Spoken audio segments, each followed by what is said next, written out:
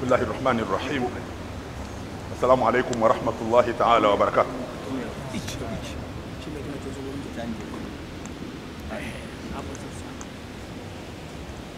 Ni wajibu wetu kumshukuru Mwenyezi Mungu ambaye ametuwafikisha kuhudhuria katika jambo hili la ndoa ya mtoto wetu. Kwa kuwa muda wetu unatulazimisha sisi wazazi kuwa na ratiba fupi, na sisi wazazi tunazidiana. Mzazi mwenzetu hasa tumempa nafasi ya kupanga ratiba, kwa wameona katika ratiba na sisi wazazi tuzungumze pia. Kwa kuliheshimu hilo, ya mwanzo ni yaweke mwisho na ya mwisho ni yaweke mwanzo. La mwanzo, bwana harusi, tumepewa fursa ya kukuhusia na mimi nikuhusie mambo matatu kabla ya kuleta maudhui yangu ya mwisho. La kwanza nikuhusie mke tuliyekupa ni amana. Amana yoyote uliyokabidhiwa ukiishi nayo vizuri inaitwa al amana. So, wataalamu wa lugha watajua kutuelekeza baadaye. Kule kuishi na amana vizuri kwaitwa al amana, ambako Mtume sallallahu alaihi wasallam amesema huko kuishi na amana vizuri tajlibu rizqa, unaleta riziki. Ikiwa umepewa amana, ile amana ukaitunza vizuri, ukawa ni mwaminifu, kule kuwa mwaminifu kunaleta riziki. Amana kukaa nayo vibaya kunaitwa khiana, wal khianatu tajlibu lfaqra, khiana inaleta kukosa. Wataalamu wale watatusaidia hapa kwamba kwani jibilla ni kuleta au ni kutengeneza maumbile? Ukiwa na tabia ya khiana, Mwenyezi Mungu anakupa balaa la kukosa, inakuwa ndio maumbile yako unakosa. Kwa hiyo usio wa kwanza, mie baba mtu baba mtumie nakuhusia bwana harusi, tulie kukabidhi, mtazame kwa jicho la amana. Ukikaa naye vizuri wa kuheshimu amana, Allah atakufungulia katika riziki. Ukikaa naye vibaya, utapata mtihani. Hatukuwapizi, ila ndiyo nature, ndiyo hakikia ya mambo yalivyo. Sasa ikiwa ni amana, nani kaamuru kutunza amana? Aliyeamuru kutunza amana ni Mungu mwenyewe na Mtume sallallahu alaihi wasallam. Kwa hiyo udhaifu wake, ujinga wake mtoto wetu usiuangalie, angalia amana uliokabidhiwa, tena msikitini, tena baada ya kuulizwa, tena baada ya kuridhia. Mwenyezi Mungu akusaidie. Jambo la pili la kuhusia, dai haki zako kwa wewe kutekeleza nyajibu zako.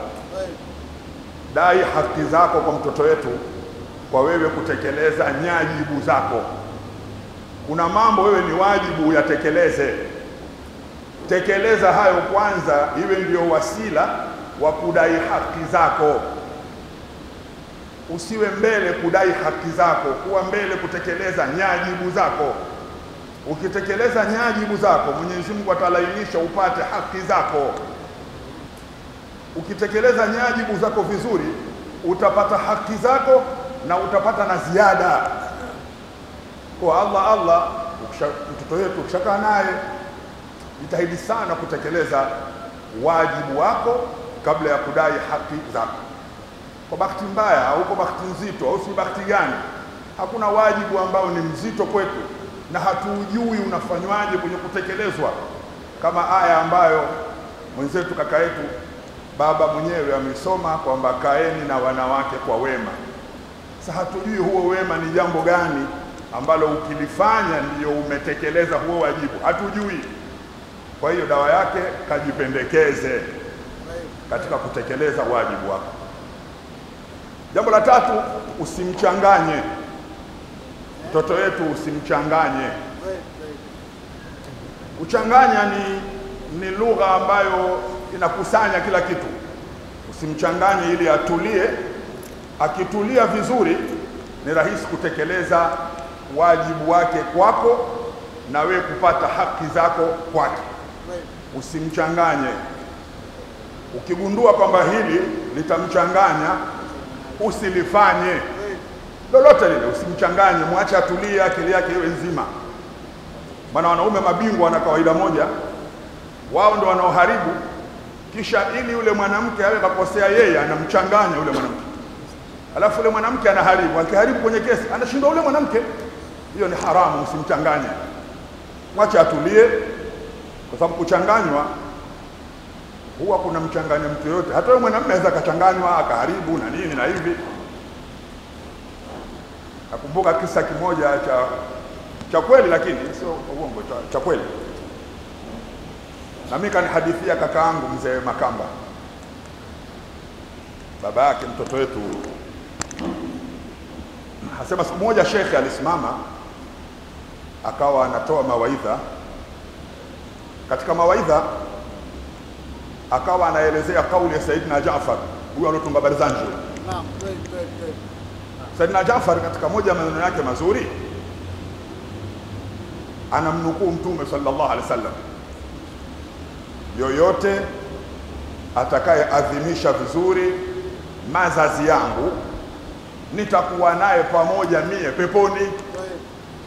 Hayo ndio maneno ambayo shekhe alikuwa akitaka kuyatamka.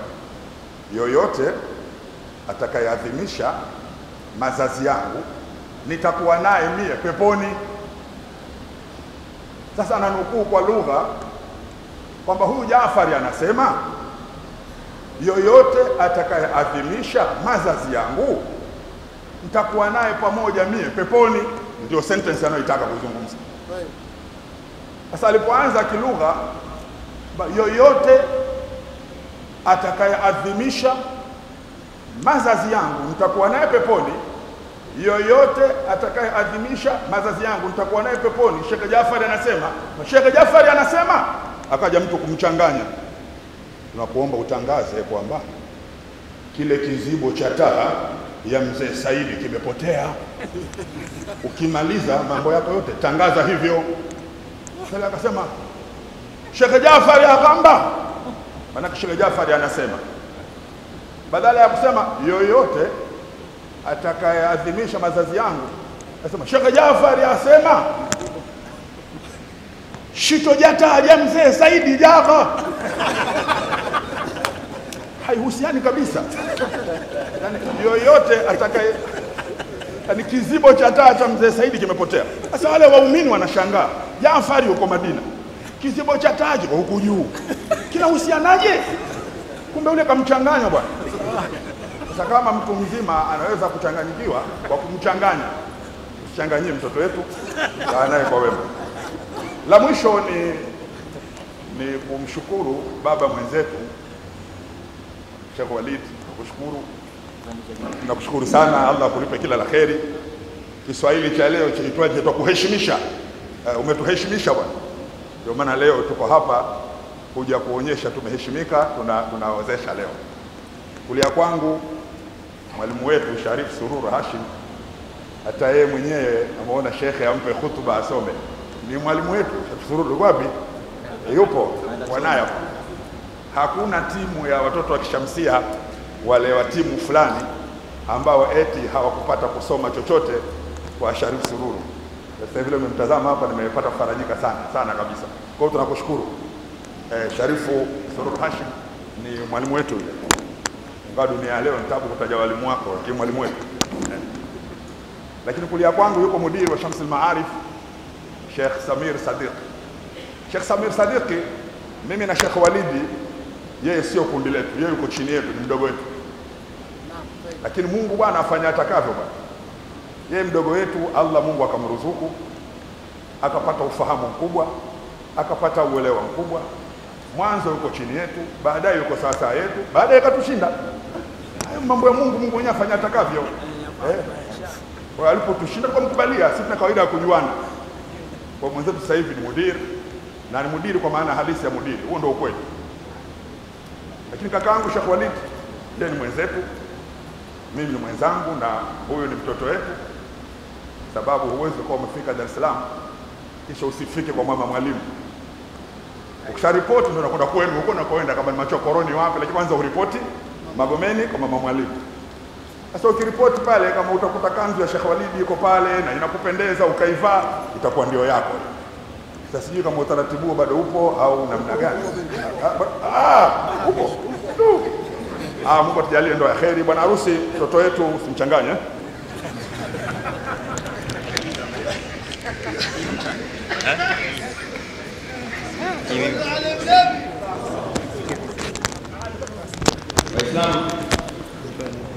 Eh?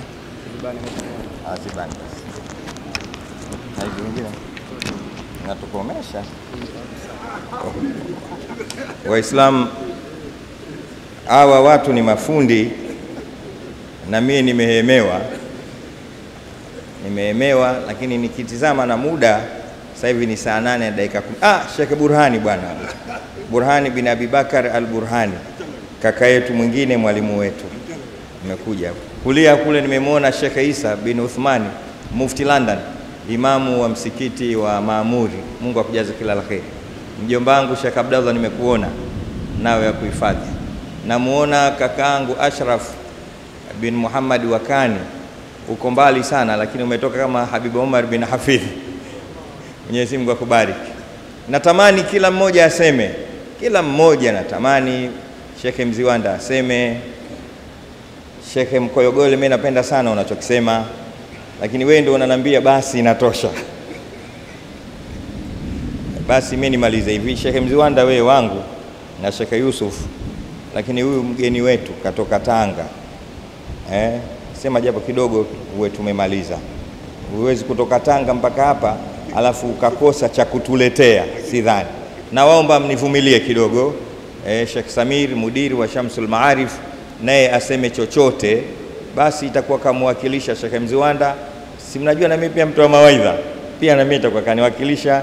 Sheikh Bago kamwakilisha, kisha dua